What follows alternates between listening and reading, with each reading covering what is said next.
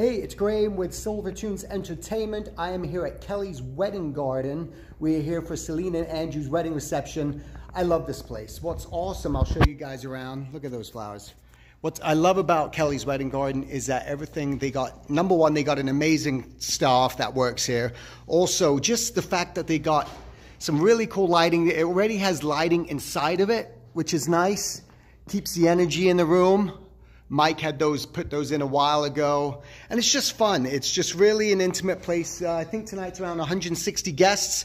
They got the buffet. We're going to do some games as well. We got the ceremony outside. I'll show you that. That's pretty awesome. So if you're really looking for a place that has everything that you need, like a one-stop shop, I definitely recommend. Look at that. They got the photo booth going on.